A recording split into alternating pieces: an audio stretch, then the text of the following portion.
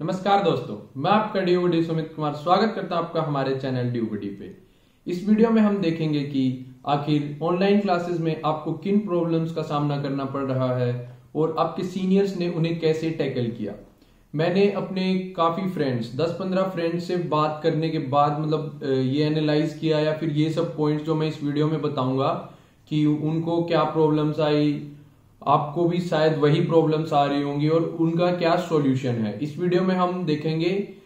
सो so, start करते हैं। पहला तो मतलब ये थी कि आईज पेन होना क्योंकि हमारा पहले screen time one hour two hour होता था लेकिन जैसे ऑनलाइन क्लासेज चालू हुई छह सात घंटे की क्लासेज हो गई और उसके बाद मतलब आप सोचते हो कि थोड़ी देर रिफ्रेशमेंट के लिए हम या तो पबजी खेल लेते हैं यूट्यूब चला लेते हैं इंस्टाग्राम चला लेते हैं। सो so, इसकी वजह से आपका जो स्क्रीन टाइम है वो average nine hours ten hours हो गया उसकी वजह से आपको आँखों में दर्द आईज पेन वगैरह हेडेक हो गया बिना बात के बातों के गुस्सा आना मतलब जिसको एनेक्सिटी बोलते हैं वो इंक्रीज होने लगी माइंड डिस्ट्रैक्ट होने लग गया। क्योंकि मान लीजिए आप कुछ पढ़ रहे हैं बीच में एक नोटिफिकेशन आया आपने क्लिक किया आपको पता पता भी नहीं चलेगा कि कब आपके 20-25 मिनट आपने वो मैसेज में खत्म कर दिया। फिर आपको लगेगा कि मैं इतनी देर से लगा हुआ हूँ। लेकिन जो टॉपिक आप कर रहे थे वो पढ़ा नहीं गया, या जो आपका प्लान था वो नहीं हो पाया।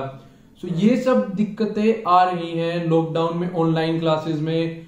इनकी एक वजह तो ये भी है कि आप दोस्तों से नहीं मिल पा रहे फ़िज़िकल क्लासेस नहीं हो रही, जो मतलब आप हँसते, बोलते, खेलते, आपस में मिलते, वो सब चीज़ें नहीं हो पा रही। आपकी फ़िज़िकल एक्टिविटीज़ भी शायद ज़ीरो हो गई हैं। तो ये, इन सब प्रॉब्लम्स की वजह से ये हो रहा है। जो सॉल्यूशंस मैंने और मेरे दोस्तों ने अपनाए, वो भी मैं आपके साथ शेयर कर देता हूँ। पहले तो हमने ना फ़िज़िकल बुक्स प्रीफर की। ये नहीं कि ऑनलाइन क्लासेस ली, उसके बाद बुक्स भी ऑनलाइन पढ़ी। ऐसा नहीं, आप फ़िज़िकल बुक्स मंगवा लो ऑनलाइन कहीं से भी अमेजोन वगैरह पे सब बुक्स अवेलेबल हैं। तो अगर आप ऑनलाइन क्लासेस लेने के बाद फ़िज़िकल बुक्स से पढ़ेंगे तो थोड़ा आपके माइंड को रिलैक्सेशन मिलेगा, आँखों पर भी कम फ़र्क पड़ेगा। दूसरा मतलब फ़ोन या नोटिफिकेशन बंद कर दो आप। मतलब जैसे व्हाट्सएप हो गया इंस्टाग्राम हो गया, ये सब नोटिफिकेशन आप बंद कर दो। क्योंकि जब आप कुछ इंपॉर्टेंट काम कर रहे हो या कुछ भी कर रहे हो, उसके बीच में एक नोटिफिकेशन आती है तो माइंड यहाँ से वहाँ, फिर वहाँ से या ऐसे करके आपका कोई भी काम अच्छे से नहीं हो पाता। तो काफ़ी लोगों ने इस नोटिफिकेशन ऑफ़ कर रखे हैं अपने मोबाइल की व्हाट्सएप वगैरह की। तीसरी है कि मतलब अपने फ्रेंड से अगर आप मिल सकते हो आपके सिटी में, जो आपने ट्वेल्थ की उन दोस्तों से मिल सकते हो तो उनके साथ मिलो थोड़ा बहुत टाइम स्पेंड करो। अगर ऐसा नहीं है तो आप कम से कम फ़ोन पे बात करो एक दूसरे से अच्छा लगेगा, हंसो, बोलो, खेलो तो उसकी वजह से थोड़ा माइंड रिलैक्स रहेगा।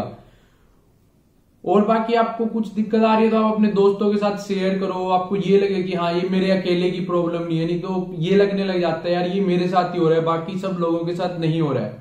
जब लॉकडाउन स्टार्ट हुआ, जब काफ़ी लोग एक दूसरे के साथ शेयर नहीं करते थे मेरे फ्रेंड्स हो गए, लेकिन अभी वो बता रहे हैं, यार लॉकडाउन में ऐसा ऐसा हुआ ऑनलाइन क्लासेस चलती थी, ये, वो। अभी मतलब ये निकल के आ रहा है तो ये मैं आपको बताना चाहूँगा कि ये मतलब सिर्फ़ आपकी प्रॉब्लम नहीं है। काफ़ी लोगों के साथ ये हो रहा है, एक दूसरे के साथ आप शेयर करो, थोड़ा अच्छा लगेगा।